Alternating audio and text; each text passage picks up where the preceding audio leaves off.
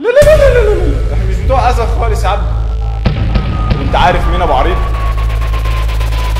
فكرني عشان ريحة الحكومة في الموضوع.